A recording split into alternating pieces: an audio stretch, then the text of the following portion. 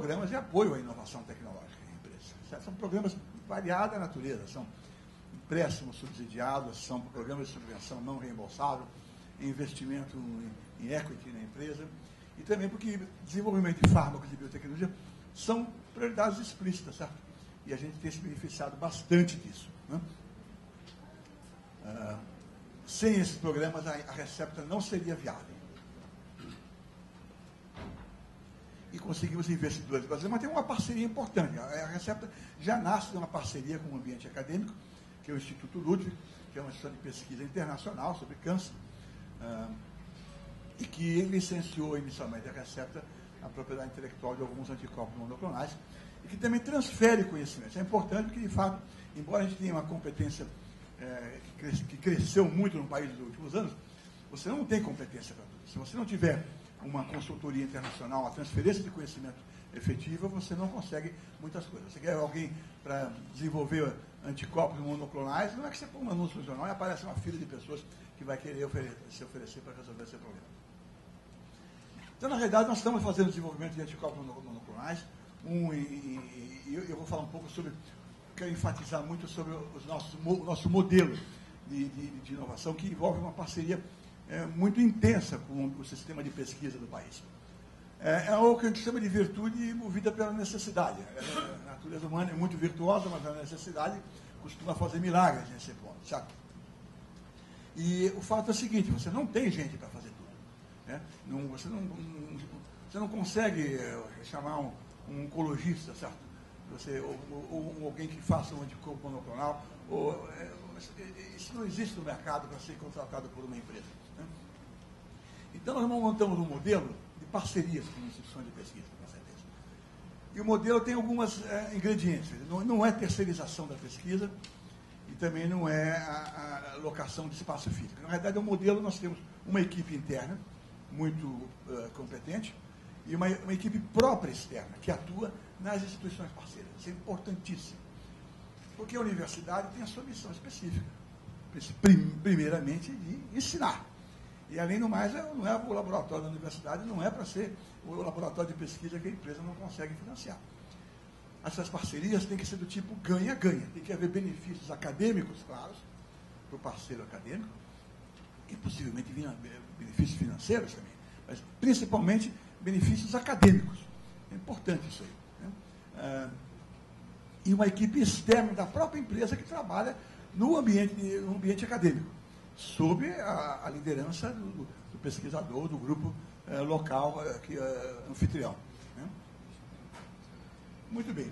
Isso é uma equipe interna, tem 25 pesquisadores né, que trabalham no, no, no Butantan, Faculdade de Medicina, um, nossa facility no Hospital Oswaldo Cruz e na Unifesp. Tá? Então, na realidade, aqui tem uma lista de pesquisadores. No Butantan, Faculdade de Medicina. Eu vou dar um exemplo que eu acho interessante é, do LIM 14, LIM 24 da Faculdade de Medicina. Então, nós temos um anticorpo, até quem tiver tido a oportunidade de ver o último número da revista Pesquisa da Peça, verá um caso interessante. É um anticorpo monoclonal, cuja linhagem celular foi gerada no Instituto Butantan, a linhagem celular para a produção do anticorpo. Um anticorpo é uma molécula, é uma proteína, o processo de produção dessa proteína, você precisa colocar o gene dessa proteína numa célula animal, e essa célula animal tem que produzir para você de forma estável e produtiva. Isso foi feito no, no Instituto Butantan, é, sob a liderança da, da, pesquisadora do Butantan, doutora Ana Maria Moro. Ah, as propriedades do anticorpo que foi gerado, no anticorpo humanizado, foram analisadas pelo grupo do Dr. Venâncio Alves, na, na, na, Faculdade de Medicina, titular de Patologia. O que, que ele fazia? Ele estudava a afinidade bioquímica dessa molécula com uh, tumores. É uma informação relevante do ponto de vista clínico, do ponto de vista comercial, é saber qual é a fração de tumores de um determinado tipo que expressa o alvo que se liga àquela proteína. Então, por exemplo, esse anticorpo RebMab 200, eles precisavam saber é, que, qual é a fração de tumores de ovário né, que expressam o, o, antígeno, que é a proteína que se liga, liga o anticorpo monoclonal. Né.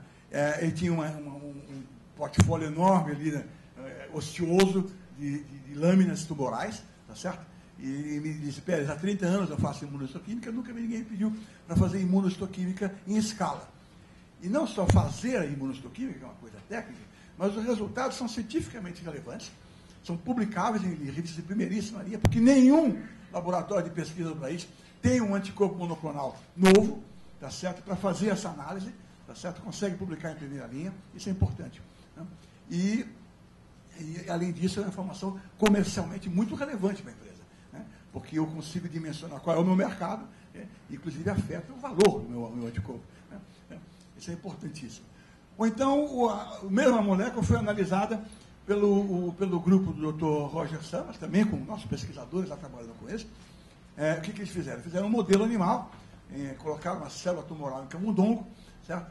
E viram que, aplicando um anticorpo, para ter certeza de que você tinha uma biodistribuição boa do anticorpo, que ele chegava só ao tumor, ou nesse caso ele só chega ao tumor, que é uma informação muito interessante, e foi também, novamente, são estudos de biodistribuição, que também foram feitos. Curiosamente, aí eu vou voltar para trás, um, o mesmo estudo foi feito por um grupo, e aí vem uma outra parceria interessante, internacional, com a Universidade de Gotemburgo, tá certo? Eles têm uma técnica diferente, eles colocam um emissor de partícula alfa, né, que é um, um astatínio, e eles também fizeram ensino, eh, estudos de biodistribuição, replicar os resultados obtidos aqui no, no Brasil. Vai sair uma publicação conjunta de Gotemburgo com, com o grupo eh, da, da Faculdade de Medicina. Estou dizendo isso para mostrar que, na realidade, uma empresa como a nossa consegue oferecer oportunidade de pesquisa translacional de qualidade.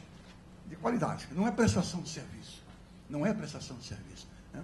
E a universidade consegue fazer isso. E a gente consegue eh, fazer essa motivação. Né? Vou voltar para trás, eu quero falar do grupo que começa o professor Travasso, que na realidade é professor, é pesquisador da Recepta, é, ele é pesquisador da Recepta, e ele descobriu, essa é uma descoberta da Recepta, é um peptídeo, um peptídeo que é, peptídeos são fragmentos de proteína, tá? e eles também têm, é, têm uma ação antitumoral muito expressiva, patente nossa, tá certo?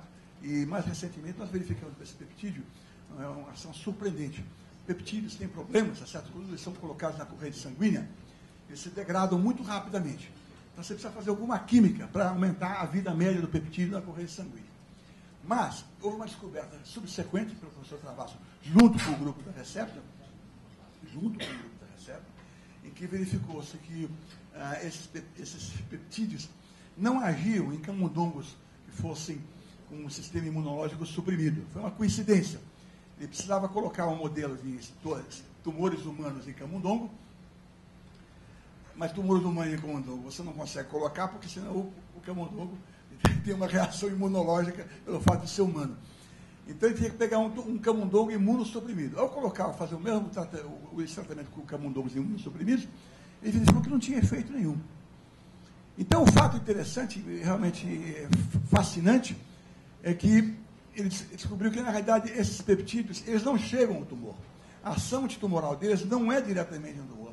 É uma ação que, tem, que precisa do sistema imunológico, né? é uma ação imunoestimulante, imunomodulação, que, inclusive, quem olhar a revista Science do fim do ano passado, é o Scientific Breakthrough of the Year. Eu lembro que o ano passado, acho que foi o ano passado, né? Que foi a partícula de Deus. Foi 12? Não, foi 2012. 12. Bom. Como? Pois é, mas a revista Science escolheu o Scientific Breakthrough of the Year, que é o novo paradigma de câncer é exatamente a imunoterapia, certo? Então, na realidade, esse aí é, um, um, um, realmente um, um, avanço muito grande. Nós estamos fazendo uma nova patente desse anticorpo, exatamente para explorar a capacidade imunomoduladora dele. Então, na realidade, vocês veem que o modelo da recepta ele envolve diretamente uma parceria com o nosso sistema acadêmico. Nosso sistema acadêmico consegue fazer, e isso é uma, é uma, uma atuação importante. Né? E aqui uma coisa interessante, que nós temos uma parceria que podia ser também com o nosso sistema acadêmico, mas não é. Nós fizemos uma parceria com o MIT. Né? O MIT, na escola de, de escola de administração do MIT, Sloan. Eles têm lá o MBA, os alunos que fazem MBA podem fazer um programa chamado G-Lab. Né? E se eles fazem esse programa de lab, eles são obrigados a dar consultorias em empresas no mundo inteiro, por isso chama-se Global, dia de Globo, é, que vão lá e se apresentam para fazer um, para pedir uma consultoria. Né? E eu fui lá, conversei com a professora de biotecnologia do MIT, a professora Fiona Murray, ela olhou o caso e falou, ah, seu caso é fascinante, é Brasil, os alunos gostam de ir para o Brasil, porque tem que consultoria em loco. Né? E, e, e, e, câncer, parceria com o Instituto Ludwig, anticorpos monoclonais, é, terapia de última geração. E, mas eles não gostam de empresa que não vai, não está faturando. É o seu caso e vai ser o seu caso por um bom tempo. Mas ela falou que vai ser decisivo é o que você vai pedir para eles. E o que eu pedi para eles é uma coisa incrível. Na verdade, é, é um, era um paper do MIT que estabelecia um valuation model. Tem, boa ciência aqui, sabe? Um valuation model para os seus produtos uh, da, na, da, indústria farmacêutica. Esse valuation model é muito interessante. Eu, como físico, quando vi a primeira apresentação desse modelo, achei fascinante, porque você divide o processo de geração de um produto em etapas. Cada etapa você tem uma meta muito bem definida. Você tem um custo bem definido, tem um tempo bem definido, estimado pelo menos, e aí tem uma probabilidade de sucesso ou de fracasso. E aí você pondera aí, vai levando, aí chega no fim do processo, você vê quanto você estima faturar nos primeiros, segundo, terceiro, assim por diante, reduz isso a valor presente, aplicando alguma taxa de juros, e pondera com as probabilidades, você tem um expectation velho do valor da sua molécula naquele momento do processo. É, é uma coisa interessante. E, e, quando eu falei, olha, eu quero, a Fiona, que você vai pedir ele, eu quero que vocês apliquem esse modelo de vocês a cada uma das moléculas do meu portfólio.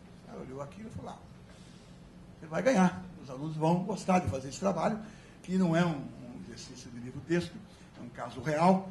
E, de fato, eu recebi quatro estudantes em MIT que passaram seis semanas em São Paulo, certo? Trabalhando feito loucos, brilhantes, the job done, certo? O pessoal é, focadíssimo, certo? e geraram esse valuation model para cada uma das áreas. Esse é um trabalho, por exemplo, que certamente deveria poderia ser feito pelas nossas escolas de administração. As escolas de administração são conspicuamente ausentes do, do processo de inovação.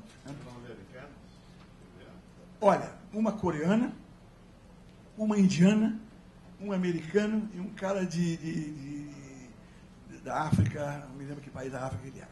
Né?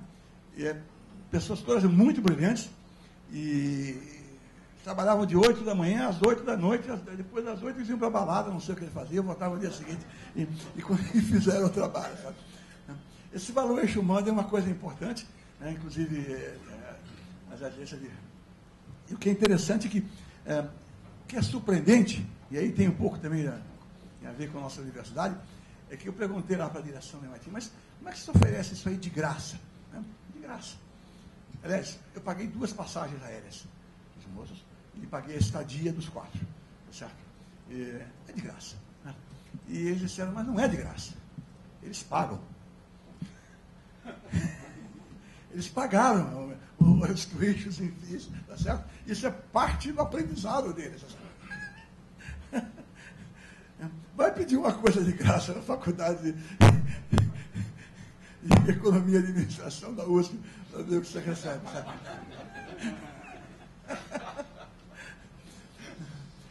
Pois é, então na realidade isso aqui é interessante porque a gente é, consegue, com esse tipo de trabalho, é, mobilizar o, o, setor acadêmico, certo? Claro que tem dificuldades nessa relação. É, eu só escolho trabalhos com universidade pública em que eu não vá ter geração de patente, porque senão a gente tem uma insegurança jurídica muito grande. Né? mesmo que você faça o melhor acordo de partição de benefícios, no fim do dia você pode, quem decide se aquilo vale ou não, não é o contrato, mas é um, é um, é o Ministério Público, o procurador de plantão. Né? Então, realmente, esse é um cuidado que tem que ter. E também, também você tem que lidar bastante com, com uma, uma, uma, burocracia acadêmica que é bastante lenta. É, é, o que é interessante, que é realmente até surpreendente, é o entusiasmo com que essas parcerias, as propostas de parceria foram recebidas. Né? pelos pesquisadores envolvidos. Né? Não tanto pelo ambiente, tá certo? Né? É, que sempre fica uma aula de. Né? E isso é interessante, de qualquer maneira. Todos eles, eu, falei o caso do Chamas, o caso do Venâncio, e, e no, no uh, também o, o Isaías Rau, a pessoa que uh, odeia, de maneira geral, a indústria farmacêutica, todo mundo sabe, mas ele entendeu que o Butantan podia estar participando de um projeto autenticamente nacional. Né? É, bom, eu vou falar muito sobre, eu queria falar mais sobre essa parte relativa à, à, à relação com a universidade, e realmente a universidade, olhada do ponto de vista de fora, a gente vê sérios desafios com relação à, à governança acadêmica. Quanto tempo tem, Rosa? Cinco minutos. Então eu vou falar a parte que eu não ia falar. Realmente o que preocupa é, é, é a universidade do ponto de fora. Quer dizer, eu, professor no estudo de física, estava num departamento que tinha um compromisso com excelência, estava é, na sua própria origem. Passei depois 12 anos na FAPESP lidando com, com as ilhas de excelência no nosso sistema, tá certo? E aí a gente pode se perguntar por que, que essas ilhas de excelência não, não, não tiveram um impacto tão expressivo como poderiam ter sobre a universidade. Né? E o, o, problema sério da universidade, como a gente sabe, é que a governança da universidade é estabilizadora do status quo. Né? E realmente isso. E nenhuma mudança vai vir de dentro para fora. Nós vamos continuar tendo progressos incrementais, tá certo? Na nossa produção científica, na nossa qualidade de ensino, mas serão apenas incrementais. Mudanças maiores terão que vir de fora para dentro. Né? Porque, na realidade, os mecanismos de, de governança, eles, perpetuam as situações de, que são mais confortáveis para a, a média. Né? Na, na, na, universidade, nós não temos uma meritocracia, nós temos uma, uma mediocracia, na verdade. Né? E esse é o, é o grande problema, verdade, é um grande desafio. Né? A gente quer realmente é, implantar uma universidade que seja realmente de excelência, e esse é o tema do, do nosso. Nós temos que repensar esses modelos. E eu, eu acho que, veja, quando você contempla, eu falei desse artigo que eu queria escrever, a época da eleição para reitor da USP. E eu encontrei com um dos candidatos e falei, olha, você de longe é o melhor candidato. E você de longe é o melhor candidato, mas isso é irrelevante, porque você não conseguirá fazer nada. Porque na realidade, eu errei, eu estou errado. Na realidade, você, a escolha pode ter uma influência só para pior. Pode ser catastrófica. Como nós estamos acabando de ver na Universidade de São Paulo. Certo? Naquela época foi escolhido um reitor que conseguiu comprometer 100, 106% da receita da universidade com a sua folha salarial. Tá certo? É, então, realmente, a, a, escolha é irrelevante do ponto de vista de você conseguir fazer mudanças, mas pode ser gravemente, consequências muito graves, caso a escolha seja é, muito ruim. Né?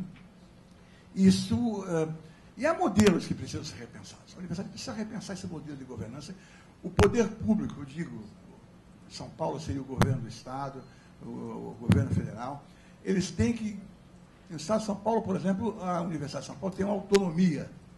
Ela recebe 5% do ICMS do Estado. Recebe mensalmente. Né? E gere com absoluta autonomia esse recurso. O governo do Estado teria que renegociar essa autonomia. Eu lhe dou 5%, sim, tá certo? mas você tem que vir com um modelo de governança moderno tem que vir com um modelo de governação, onde seja possível que o reitor da USP não seja necessariamente um professor da USP. Um reitor da UFRJ não precisa ser um professor da UFRJ.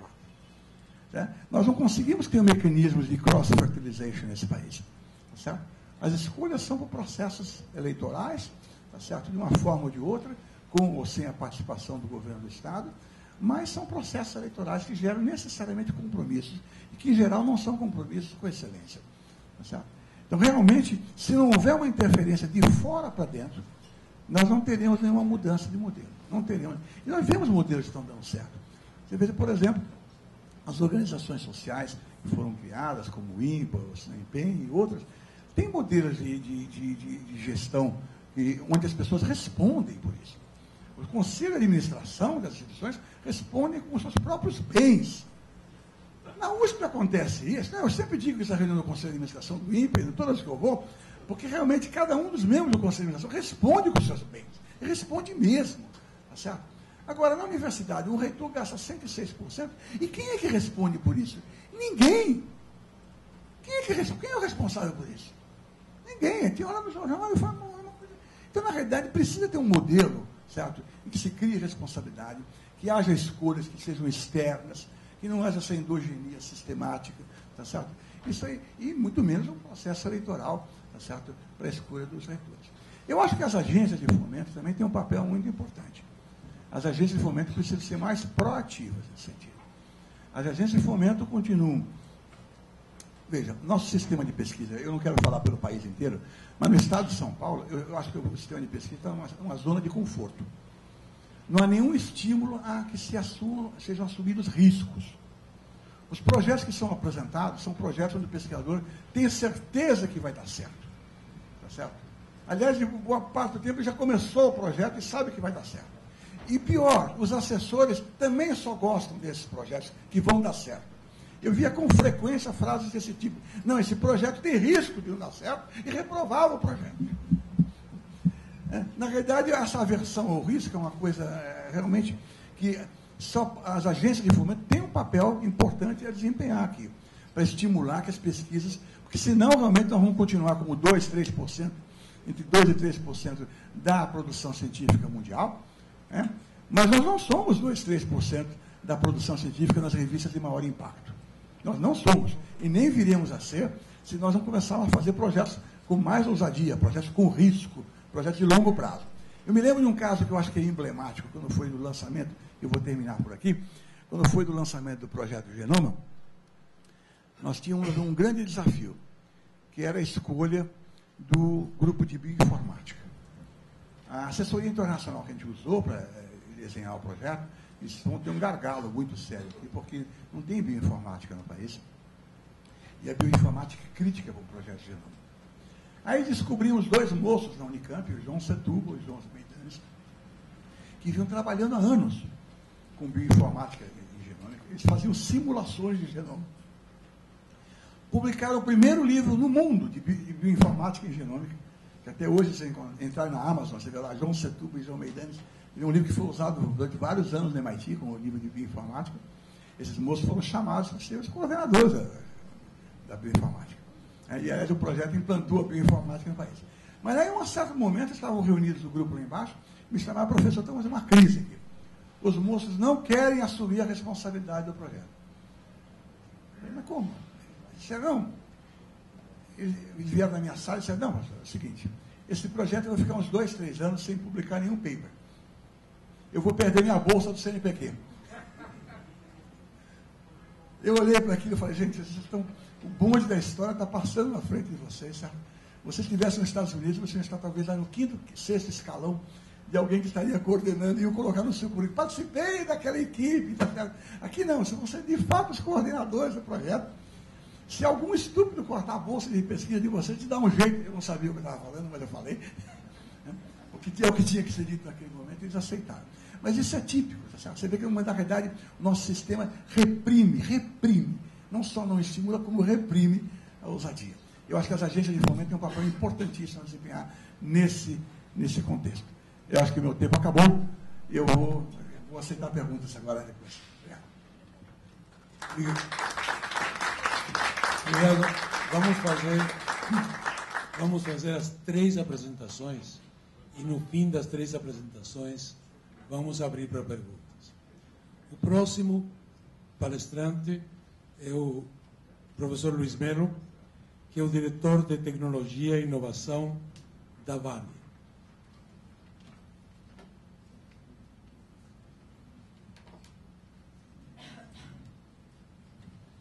Bom dia. Eu fiz uma apresentação imaginando que teria um público estrangeiro uh, mais numeroso do que a gente tem. Então, tem uma parte introdutória falando da Vale, que é um pouco mais irrelevante para o público nacional, mas certamente serve sobretudo para o público internacional. Mas eu vou passar rápido para essa parte introdutória para ir para é, os finalmente. Acho que, enquanto a apresentação não aparece ali, o Pérez já adiantou uh, a maior parte do que são os problemas uh, centrais uh, da academia brasileira à luz da indústria brasileira, ou da indústria global. É... Só esperar os slides aparecerem. Né? Agradeço ao professor Jacó pelo convite. Bom, tá aí. Primeiro slide é só para dizer que, ainda que a Vale seja uma mineradora, a Vale é, por exemplo, a maior empresa de logística do Brasil, uma das maiores do mundo. Transporta mais de 300 milhões de toneladas de carga por ano.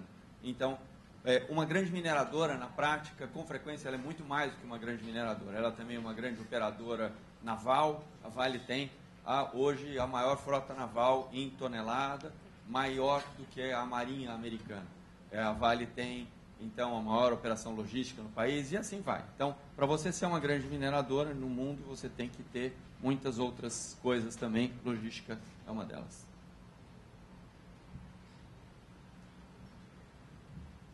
que eu estou apertando o botão errado? Devia ser esse, né? Aqui para cá. Ah, é o sentido inverso, talvez. Obrigado.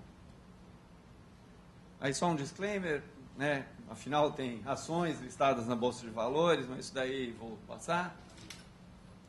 É, o que, que é a Vale, então? Uma mineradora com operações uh, globais em mais de 30 países. É uma líder mundial em produção de minério de ferro, segunda maior produtora de níquel, uma das maiores produtoras também de cobre, carvão metalúrgico, fertilizantes. Presente, como eu já disse, em mais de 30 países uh, do nosso planeta, ainda não 30 planetas. É, e, evidentemente, em cada, uh, de, cada um dos países, uma cultura diferente. E uh, a questão de cultura é uma questão crítica. Só, só para interessar essa dimensão e para falar, então, Excellence in Higher Education. Evidente? se o título está em inglês, o simpósio uh, pressupõe uma internacionalidade. Aqui a gente está falando dessa dimensão de internacionalidade. A Vale, num dado momento, adquiriu a maior, então maior mineradora no Canadá, Inco, era o nome dessa empresa. Foi, a, naquela época, a maior aquisição que uma empresa uh, de origem brasileira fez de qualquer empresa no exterior. Eu acho que ainda hoje é a maior aquisição que jamais foi feita de uma 17 bilhões de dólares em 2006. Eu acho que não teve nada nessa ordem de grandeza. Ganhou da refinaria de Pasadena. Ah, mas só que é a nossa operação é sound, né? Para usar uma palavra inglesa de novo, é sólida. Mas a, a, perspectiva era a seguinte: as pessoas trabalhando aqui no Brasil com frequência trabalham, sei lá, de que ritmo, de que jeito, chegavam lá no Canadá e aí chegavam para encontrar os seus pares canadenses, os pares canadenses, na fala dos brasileiros, chegava às 5 da tarde, a caneta caía da mão. Né? O brasileiro olhava aquilo e achava inacreditável. Como é que o sujeito para de trabalhar às 5 da tarde, porque, afinal de contas, o trabalho continua. Então, o que está acontecendo? Na visão do canadense, a lógica era a seguinte: eu tenho uma vida, eu tenho família, eu tenho que pegar filho na escola, eu tenho uma série de outras atividades não tenho empregada doméstica na minha casa para cuidar das minhas coisas, não estou transitoriamente aqui numa operação de entendimento do que. Então, as questões culturais, elas são críticas. É, um outro exemplo de questão cultural, em Moçambique, então, um determinado funcionário nosso, numa posição gerencial, chega para um moçambicano, supostamente falamos a mesma língua, e aí está lá, não, bicho, vamos fazer isso aqui assim, assim o funcionário moçambicano pediu demissão. Eu não sou animal, não devem me tratar de bicho, não sei o quê.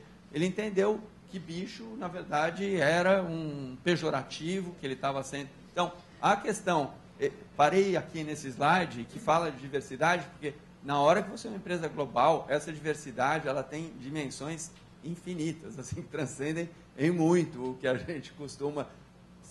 Vai desde, ô bicho, vamos lá. Né?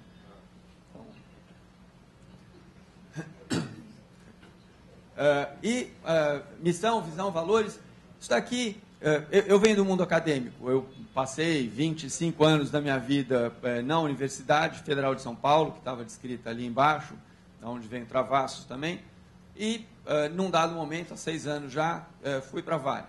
Eu olhava essas coisas daqui e falava, ah, isso daí, baboseira, não sei o quê. O que acontece é que faz um sentido fundamental você definir um norte comum, você definir um horizonte que todos compartilham e que todos entendem. Que você pergunte para qualquer um dos tantos milhares de funcionários da tua empresa e ele sabe onde é que você quer chegar e de que jeito você quer chegar lá. E isso faz muita diferença. De novo, é, para falar de academia. Talvez em muitas das nossas instituições acadêmicas a gente tenha missão, visão, valores. Mas, de novo, talvez se se perguntar aos acadêmicos das instituições qual a missão da tua universidade, pouquíssimos vão saber dizer de cor. É. Então, isso é, é uma outra dimensão que, quando a gente entende o que isso pode propiciar e facilitar, é uma diferença muito grande entre universidade e empresa. Vale foi fundado em 1942 como parte do esforço de guerra dos então aliados uh, que precisavam de ferro para produzir bala e produzir tanque e assim vai. E a partir dessa origem, digamos, humilde, em 1942, ela hoje produz em uma hora o que ela produzia em um ano inteiro. Né? Então, a produção é, de um ano inteiro, de 1942, é o que se produz hoje em, em meras uma hora de produção. É, ela foi privatizada em 1997, e quando ela foi privatizada, em 6 de maio, e até recentemente tinha um movimento qualquer que ainda pre pretendia é, reestatizar a empresa, mas de qualquer forma, privatizada em 6 de maio de 97, ela tinha um valor de mercado da ordem de 10 bilhões de dólares, ela era possivelmente a décima, a décima quarta maior mineradora do mundo, é, naquela época. Em 2013, ela tinha um valor de mercado de 80 bilhões de dólares, com aqui 11 mil funcionários, aqui 212 mil funcionários. Nesse momento aqui, em 2013, ela era a terceira maior mineradora do mundo. Não é só o mercado de mineração que cresceu, a Vale cresceu mesmo comparativamente aos seus pares. E aqui a gente tem a diferença central de estatal versus privada. Não tenho a menor dúvida, acho que ninguém tem qualquer dúvida de que a, a, a diferença central aqui é essa, é estatal versus privado. Aqui são os países onde a Vale está presente, o que é amarelo é onde ela já esteve presente e agora se uh, afastou, o que está em verde, ou qual seja essa cor aqui, é onde ela ainda tem operações. Evidente, se a gente veio para o aqui, Cazaquistão e saiu do Cazaquistão é porque as possibilidades enquanto negócio acabaram não se manifestando tão relevantes. Aqui na Mongólia, a gente até descobriu bons depósitos de carvão aqui. A questão é para quem que a gente vai vender esse carvão? Ah, para a China, mas tem questões geopolíticas importantes entre Mongólia e China. E vai. Então, é, um, um negócio na mineração, ele tem algumas dimensões importantes. A primeira é que o depósito mineral, ele é um dado da natureza. Você encontra o depósito mineral ali naquele lugar e não é como uma fábrica de componentes eletrônicos ou uma empresa de biotecnologia que, grosso modo, você pode instalar em vários lugares, você tem várias alternativas. Aqui, a sua fábrica, isso é a mina, ela está onde a natureza colocou o depósito que você descobriu antes dos outros. Porque se alguém descobrir aquele depósito antes de você, ele já está trabalhando e talvez para você adquirir, você tenha um custo de aquisição que não seja uh, justificável. Mas, de novo, o fato dela estar, tá, esses em, azul, em verde ou azul, que seja essa cor, é mais de 30 países e aqui são operações. A gente não está marcado os escritórios que a gente tem na Suíça, na Áustria e outras uh, áreas aqui, uma refinaria, por exemplo, aqui no país de Gales. Mas, de qualquer forma, as minas que a gente tem, então, estão nesses lugares e daí uma dimensão de internacionalidade que é muito relevante para nós. Isso daqui é para falar de como é que funciona uma mina de maneira geral e falando de Carajás, então. É, essa questão de intensidade de capital. A gente tem ali uh, reservas em Carajás da ordem de 18 bilhões de toneladas, com um teor de ferro muito bom, 66% de ferro uh, nesse minério. A construção ali começou em julho de 78, início da produção, janeiro de 85, então demora um bom tempo entre você começar uma mina e, e de fato começar a produzir. O volume de produção era 35 milhões de toneladas por ano, naquele momento inicial. É, o capex estimado ali, o custo de investimento de capital, isso aqui capex, 4 bilhões de dólares. E a taxa de retorno sobre investimento, que é isso que está escrito aqui, 10 a 13%. Isso é, para cada um dólar que eu coloco, ao longo dos anos, eu vou ter um retorno que vai estar nessa ordem, é como se eu tivesse colocado um real na poupança e a cada ano esse real me rendesse 10 centavos ou 13 centavos. É isso que está falando aí ao longo do tempo, é o cálculo que é feito. Hoje, Carajás. Oi? Por ano. Sim. É, Hoje, Carajás está sendo expandido. A expansão de Carajás é um projeto que chama Serra Sul, que aparece aqui em azulzinho.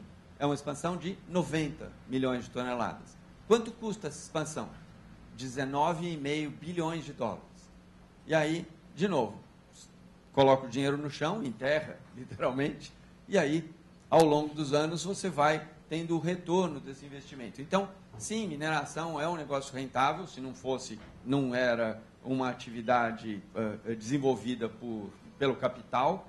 Por outro lado, é uma atividade onde o investimento é muito grande, e ao fazer um investimento grande, e começa já uma dimensão que é relevante para a nossa área, você não quer correr riscos.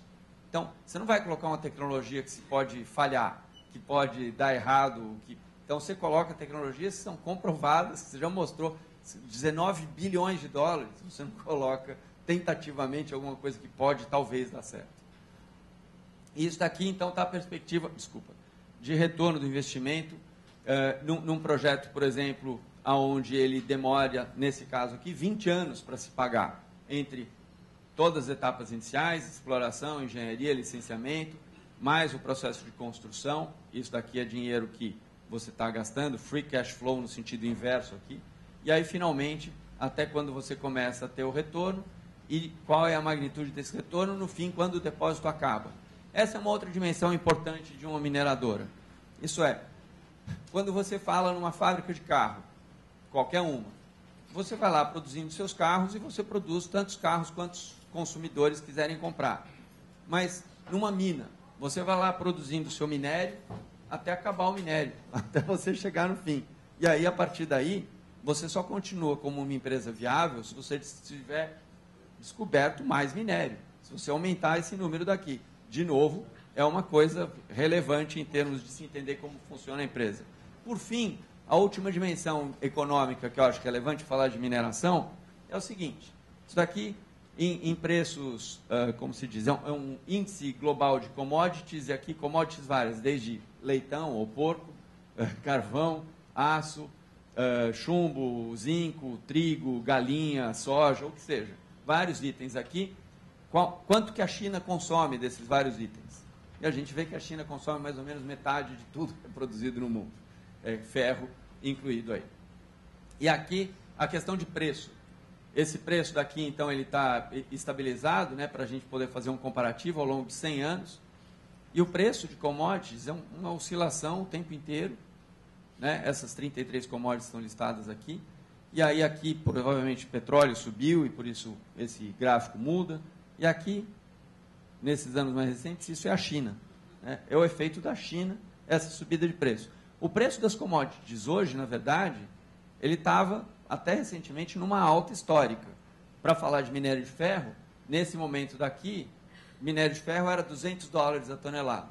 Hoje, ontem, o minério tinha fechado a 79 dólares a tonelada. Então, você tem um mercado que tem um, uma precificação onde, num período de três anos, o que você vendia vale metade do que você vendia antes. Então, de novo, é muito complicado você trabalhar com essa dimensão. E com isso eu encerro essa parte de mineração, mas que no fim das contas tem a questão de responsabilidade social, porque obviamente a população que está ali do lado quer se beneficiar dos ganhos, a Vale tem uma fundação que faz investimentos importantes aí, tem a questão da é, responsabilidade ambiental, porque de novo é um item absolutamente relevante, o que você faz em termos de mineração, hoje você tem que recuperar, você não consegue abrir uma mina sem já ter um plano de fechamento, e, por fim, você tem gente mexendo com máquinas é, pesadas, é, explosivos, é, é, uma situação de risco e a questão de saúde e segurança é uma questão crítica.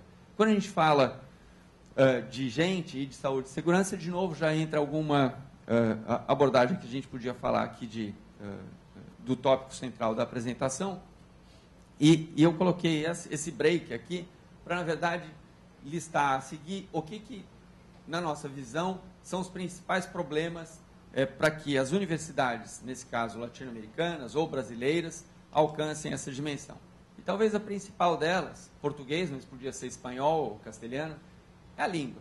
A gente não fala inglês como a gente deveria. É, e a gente não fala inglês. Esse evento, por exemplo, é, na sessão de hoje, pelo menos está todo mundo falando português. Eu estou seguindo ainda Eu sei. É, ainda que os slides estejam aqui é, em inglês, mas evidentemente é, eu acho que isso é um, é um óbice fundamental para internacionalização, para que a gente de fato tenha a excelência que a gente deveria ou quer ter.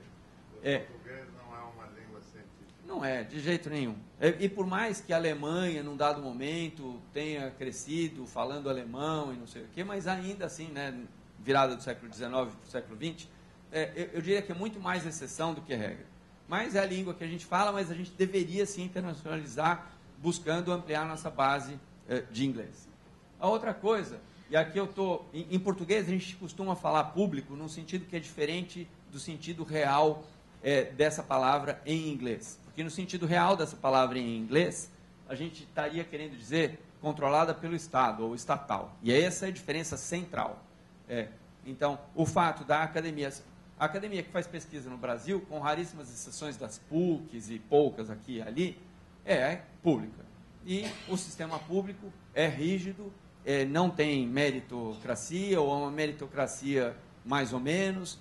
E, e de fato, a gente não, não, não, não tem indicadores, não tem metas uh, estabelecidas, e de fato a gente não avança na maneira que poderia, sobretudo por causa dessa dimensão e porque a gente não tem quando a gente vai lá para o MIT, por exemplo, Harvard ou Stanford, todas essas são privadas. E elas são privadas, é, funcionam no nosso entendimento como as públicas poderiam funcionar, mas elas funcionam bem como funcionam porque são privadas. E na prática, lá o estudante paga tuition fee, não sei o quê. Eu entendo toda a discussão de uh, gratuito versus não gratuito e não acho que tuition fee cobre nenhuma fração das coisas, mas existe uma questão de meritocracia e, e, e, a fala do Pérez ela tem uma outra dificuldade que é o seguinte: não adianta você simplesmente colocar um gestor novo, porque na prática, se esse gestor não tiver instrumentos de controle, ele não pode fazer nada. Ele pode demitir um chefe de departamento? Não pode. Então, a partir daí, o gestor novo ele ainda vai estar de mãos muito atadas para a gente alcançar essa excelência que a gente está falando aqui. A questão da ideologia é, de anti-lucro é uma questão importante, porque de forma, ela vem mudando ao longo do tempo, mas de forma geral, a academia brasileira tem um viés de esquerda, talvez a academia do mundo, tem um viés de esquerda muito grande, e nesse sentido, qualquer coisa cheirando dinheiro era quase como corrupção e um, um problema horroroso. Não, dinheiro e universidade eram coisas que deviam estar em mundos completamente Marte e Vênus. assim. E a outra coisa é, dessa ideologia é essa perspectiva. Não, eu produzo o conhecimento pelo conhecimento, né? E que é o conceito de torre de marfim. E, e, mas aí eu acho que a coisa talvez mais emblemática que tem, os dois modelos, uh, talvez mais, uh, uh, diz, estereotipados, é Harvard, torre de marfim típica, e MIT, viés, manus et menes, ou sei lá como eles chamam lá, mão, mão e cérebro. É, e e a história é a seguinte: o MIT, Instituto de Tecnologia, se vangloria do viés empresarial da interação com a academia. Harvard era, não, eu estou longe disso daí. Progressivamente, Harvard fez uma Harvard Business School e se aproximou muito do modelo MIT. MIT se aproximou muito do modelo Harvard e, na verdade, MIT hoje é a instituição número um no aspecto Ivory Tower. Isso é produção acadêmica e paper. É, é só para dar o viés de que o mundo mudou e hoje a instituição que é mais reconhecida academicamente é a que foi para o lado, vamos interagir com o mundo de negócios. O MIT, de novo, se vangloria do número de patentes que eles têm, se vangloria de que se eles fossem uma economia, no sentido ex-alunos e, e, professores que criassem um país, seria a 17ª maior economia do mundo, em termos do volume de negócio que eles geram. Então, na prática, eu diria que esses itens daqui, e ditos de outra forma, que, que o Pérez uh, uh, elencou, são os principais entraves que a gente tem para que as nossas instituições, não só Brasil, acadêmicas, América Latina, atinjam o nível de excelência. A Vale reconhece essas questões e, nesse sentido, buscou criar um departamento, na verdade, que existe há algum tempo, aloca um volume substancial de recursos para fazer atividades em parceria, Aqui tem um mapa dessas atividades. O Sandoval, que trabalha na nossa equipe, é responsável por várias dessas atividades daqui. Aragão, que já nos honrou com sua presença também contribuiu muito para um, uma parte importante do que a gente tem aqui. E, uh, na prática, essas interações todas, tanto no Brasil como no exterior, elas visam criar uma base que permita o Brasil talvez sair de uma situação de analogia com os Estados Unidos da década de 30 e 40 e consiga avançar de fato para o século 21. Essa analogia, eu tenho três slides para terminar, poderia ter mais, mas. É assim, é, e aqui é só para falar um dado assustador. Esse dado assustador, essa curva, é, ela não é tão intuitivamente fácil, mas é o seguinte: isso daqui são veículos por milhar de, milhar de habitantes ao longo dos anos. Essa é a curva dos Estados Unidos. Então, isso daqui é os Estados Unidos, isso daqui é os Estados Unidos, por exemplo, então, ele tinha 150 carros por milhar de habitante em 1925. E aí hoje eu sei lá quantos carros por milhar de habitantes os Estados Unidos têm. Para nossa tristeza, o Brasil em 1998 tinha tantos carros por milhar de habitantes quanto os Estados Unidos em 1920, querendo dizer que se o trânsito já é ruim do jeito que está, quando a gente tiver tantos carros. Mas isso daqui é, é um dos referenciais para dizer que os Estados Unidos e Brasil, Brasil os Estados Unidos de 1930 a 1970 é muito parecido com o Brasil de 2000 a 2010, em vários desses indicadores. É, número de gente alfabetizada, número de pessoas na universidade e, no que interessa, interação entre setor produtivo ou industrial e setor acadêmico. Interação entre setor industrial e setor acadêmico, Brasil hoje é muito parecido com os Estados Unidos de 1930. O ponto que eu quero chegar é que naquela época, os Estados Unidos de 1930 criou vários centros de P&D que hoje não existem mais. Talvez o mais notável desses, e, que foi criado um pouco mais tarde, Bell Labs, mas tinha o Palo Alto Research Center e a GE, e vários desses tinham centros importantes. Eu ainda, ainda que entenda que várias coisas podem ser diferentes e você não precise necessariamente passar por etapas que outros já passaram, você pode talvez queimar etapas, eu acho que essa etapa de criação de um instituto de tecnologia por uma empresa é uma etapa crítica nesse processo de desenvolvimento para justamente facilitar essa interação entre indústria e mundo acadêmico. A gente criou esse instituto não da minha cabeça, ou do Aragão, do Sandoval, mas conversando com pesquisadores, opa, desculpa, de diferentes instituições, e aqui foi um dos eventos que a gente fez, na verdade, um conjunto de eventos para definir quais eram os tópicos de pesquisa que iam estar nesse ITV daqui, da onde vieram esses pesquisadores. Aí fizemos outros workshops com outros pesquisadores de outros lugares, de novo, do mundo inteiro. E aí, com base nesse apanhado e conversando dentro da Vale também, a gente definiu uma instituição que está aqui definida e organizada, dos quais o professor. Isso aqui era o grupo antigo, mas o professor Jacó. Cadê? Ainda faz parte, o professor Pérez já fez parte desse conselho. Então, diversos pesquisadores do mundo inteiro fazendo parte de um conselho científico, consultivo e aí a gente criou então dois institutos, um em Belém e um em Ouro Preto. Isso aqui é a maquete de um desses institutos. Isso daqui era a visão do Roger quando ele falou pela primeira vez desse instituto, que ele queria criar um MIT da Vale. E na prática, em grande medida, é isso que a gente vem fazendo com a ajuda de várias pessoas do Brasil, do mundo inteiro. A ideia de como vai funcionar esse instituto, os programas de pós-graduação que já são vigentes, aprovados pela CAPES, alguns dos projetos que a gente tem em curso nesse instituto.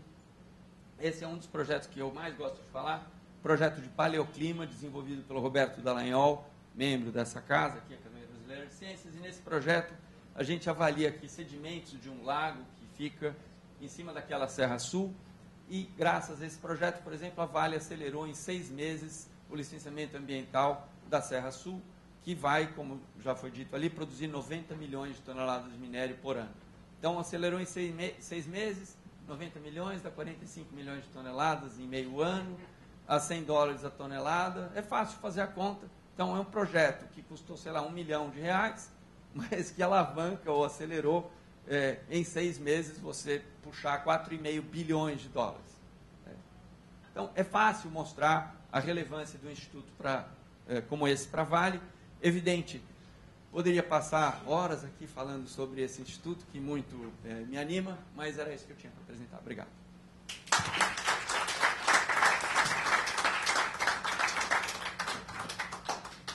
Eu quero agradecer de novo a Luiz Melo e o próximo expositor da mirada às universidades brasileiras do ponto de vista da empresa é o Helio Ramos da Silva, cadê?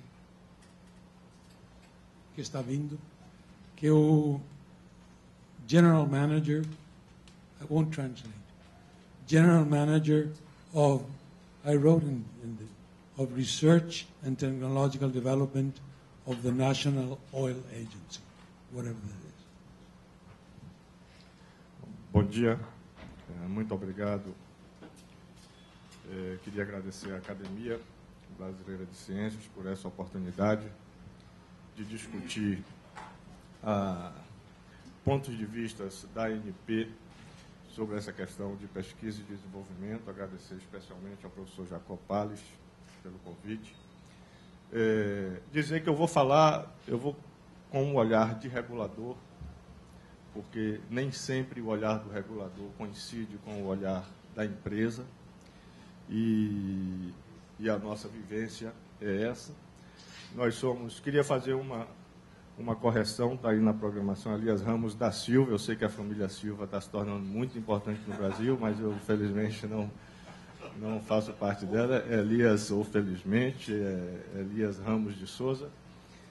É, e dizer que a ANP ela tem se empenhado muito, desde que foi criada há 15 anos, em eh, movimentar, estimular esse mercado da indústria de petróleo eh, no Brasil, eh, buscando não só estimular a participação em especial da Petrobras como uma liderança nesse mercado, mas também atrair empresas do mundo inteiro para vir aqui ajudar a desenvolver eh, essa indústria no nosso país. Eu vou fazer uma, uma exposição aqui, eh, em 20 minutos, eu vou concentrar um pouco mais em questões ligadas ao pré-sal e alguns desafios relacionados ao pré-sal e aos investimentos em pesquisa e desenvolvimento, fazendo a ressalva de que, para nós, eh, essa questão não está restrita a, ao, ao problema do petróleo, é, nós sabemos que o petróleo, ele ainda, é, como uma fonte energética, ele tem uma importância muito grande. As contas de 2013 mostram que nós temos, na relação reservas-produção, petróleo ainda para pelo menos 53, 53 anos à frente. Essa, isso sempre evolui. É, vocês acompanham aí certamente essa discussão sobre o pico do óleo, e o pico do óleo ele já foi é, deslocado várias vezes, por diversos motivos, porque sempre se descobre mais reservas, porque o desenvolvimento tecnológico torna acessíveis reservas que até pouco tempo não poderiam ser extraídas do subsolo. Então, isso vai modificando, mas é, é importante, do ponto de vista de país, que a gente tenha consciência que, com, com toda a importância que o petróleo tem e, e a importância que ele tem para o Brasil hoje, particularmente com a descoberta do pré-sal, é bom também que a gente pense em construir rotas alternativas. A partir de um certo momento, quem sabe o petróleo poderia ser utilizado não para ser queimado, mas para usos que são ditos usos mais nobres, né? e que a gente aproveitasse esse momento também para deixar como legado o desenvolvimento do país na direção da construção de uma liderança em fontes alternativas eh, de energia, né? particularmente aqui no caso nosso da NP, em biocombustíveis, né? Nas descobertas que têm sido feitas ultimamente, o, é, a, as descobertas em águas profundas elas têm sido a maior fatia do que tem aparecido de novo né, no mundo inteiro. É, e no caso do Brasil, isso não, não muda. Né? Nós temos hoje uma situação aí de um país com reservas da ordem de, de 17 é, é, bilhões de barris equivalentes. Né?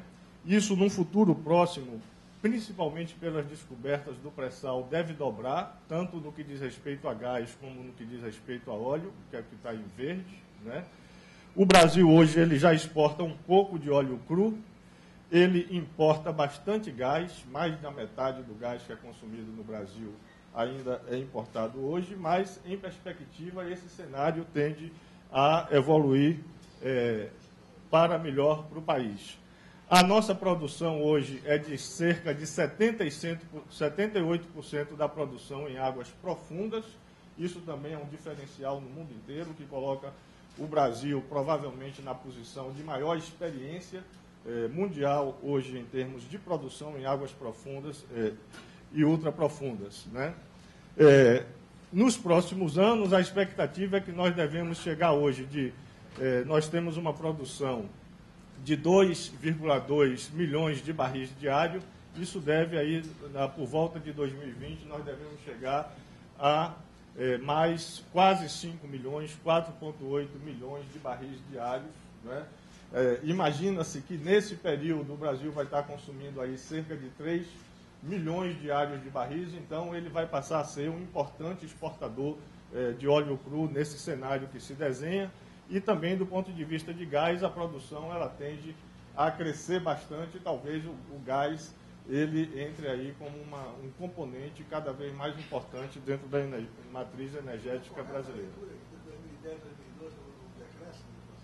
Oi? É uma barriguinha para baixo. Aonde? É, aqui tem uma, tem, um, tem uma certa queda, porque a gente vive um momento hoje o seguinte, a bacia de Campos, que eh, nos últimos anos é o maior produtor de petróleo, ela está decrescendo. A bacia de Campos ela já atingiu uma certa maturidade, então ela está decrescendo. Isso está sendo reposto pelo pré-sal. Então, estamos diminuindo a, a, a produção no pós-sal, em águas profundas, e aumentando a produção no pré-sal, mas isso tende eh, a ser recuperado rapidamente.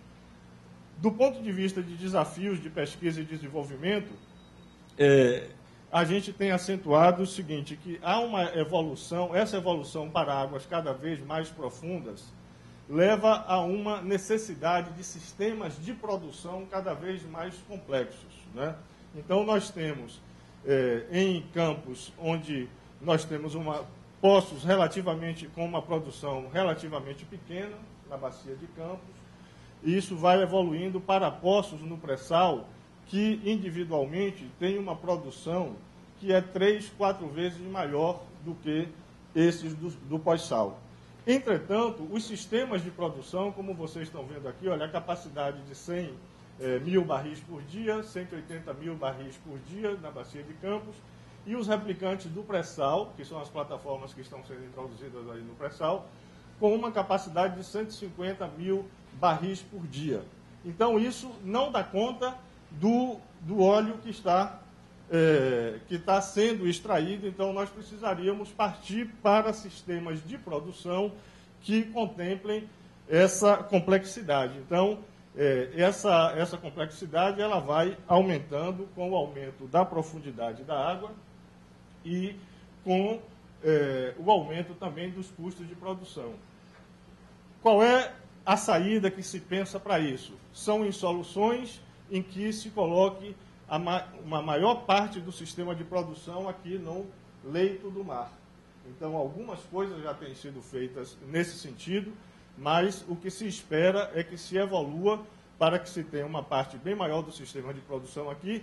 Provavelmente vai se ter ainda uma plataforma é, flutuante, mas com, digamos assim, atividades é, bem mais secundárias em relação ao que é feito nas plataformas hoje em cima, porque nós temos na situação atual quase tudo ainda colocado lá em cima. Então as, as plataformas elas ficam muito cheias de, de unidades fabris é, que é, para é, a quantidade de óleo que tem hoje ela é, não comporta bem.